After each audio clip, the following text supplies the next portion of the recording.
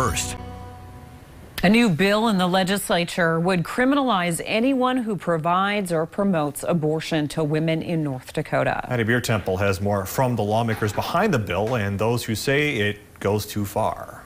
Minot Republican Representative Jeff Hoverson sponsored the bill that would charge abortion providers with murder. We need to stop murdering babies and we need to listen to babies. He's joined by a few other lawmakers, including Representative Jeff Magrum. As an adult, I need to stand up for the most vulnerable, the little children. Their bill would make providing an abortion a Class AA felony, punishable by life in prison. It would also criminalize anyone who, quote, aids, abets, facilitates, solicits, or incites another person to commit an abortion.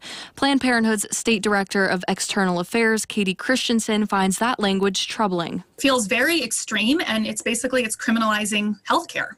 Fargo Democratic Representative Gretchen Dobervich says it could trigger expensive litigation if passed. It will end up going to the courts. Hoverson says having the courts take a look at the law isn't the intention, but it wouldn't be the worst thing either. Conservatives now hold a 6 3 majority on the Supreme Court, which means now could be the time for House Bill 1313 to pose a legal challenge to the 1973 ruling in Roe v. Wade. That'd be great if it did, but actually, I would rather have legislation that nullifies it. This is a matter that the states need to start taking into their own hands. And if we have a movement of states, that's a way better approach. Hoverson compared challenging the landmark ruling in Roe v. Wade, which legalized abortion, to states defying federal marijuana laws. The Supreme Court decision is simply a decision. It's not the first time the state has clashed in the courts when it comes to abortion related legislation.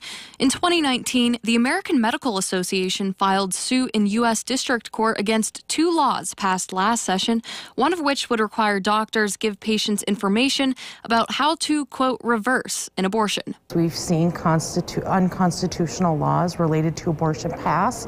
It's cost the taxpayers money for the Attorney General's office to um, defend those bills. And um, I feel like the bill probably has a good chance of passing again based on past history. Christensen says that money would be better spent helping those hurt by the pandemic. We would be basically taking funding and resources from North Dakota to, to deal with this bill in litigation when instead we could be using those resources to focus on other more immediate needs um, like the pandemic. Asked whether Hoverson thinks the bill goes too far in charging providers with murder. That's best answered by a question is how is it not murder? Reporting in Bismarck for KX News, Maddie Biertempfel. Hoverson says the Human Services Committee will take up the hearing early next week. And stay tuned. Coming up next, we see the world.